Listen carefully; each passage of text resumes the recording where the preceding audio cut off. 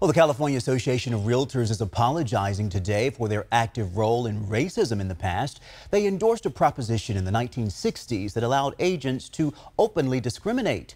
ABC 10's Morgan Rynor is live in the studio tonight. And Morgan, you spoke to the president of the organization. They don't plan to just stop at the apology. They don't. The organization has been working with lawmakers to pass legislation to address the issues they played a large part in creating. Estella Sanchez remembers when her parents tried buying a home in Sacramento in the 50s. The fact that they were Mexican, they would they would be turned down. She doesn't know exactly how many times they were turned down. What she does know, her dad never gave up, started door knocking on homes that had for sale signs himself until someone said yes. And he goes, "Okay, yeah.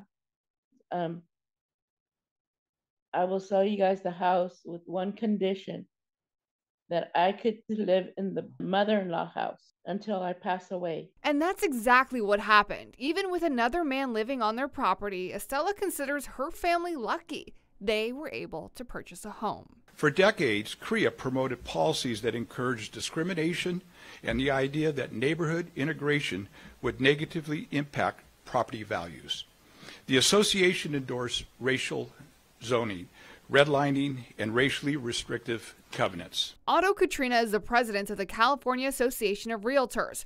Redlining is when a family is refused a loan to buy a house. A covenant is the house that I currently live in now had a covenant in there that uh, related to uh, a specific ethnicities that we're not allowed to spend 24 hours in a neighborhood. And we have pushed legislation to get those cleaned up. Catrina, a kid at the time the organization was promoting these policies, acknowledges the lasting impact. Generations do not have the land or equity to pass down to their kids like he does. We will not tolerate that, and uh, we are a different association today. Today, his group provides grants to underserved families to help them put down payments on a home. They've just passed a law that requires bias training for all real estate salespeople.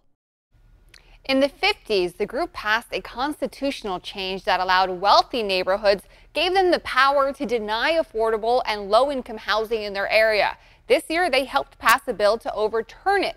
But because it is a constitutional change, it will be on your November 2024 ballot. Chris? Morgan, thank you.